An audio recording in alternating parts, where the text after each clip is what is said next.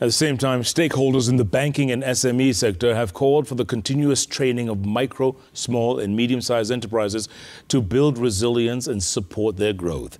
Speaking during an MSME resilience program where 187 businesses in Nakuru County benefited from the training, Stanbic Bank Foundation executive Pauline Mbaya says the micro, small, and medium sized enterprises need to learn how to quickly adapt to the changing business environment and disruptions.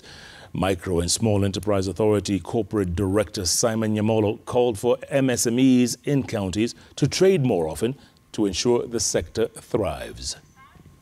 The training, it goes beyond the financing.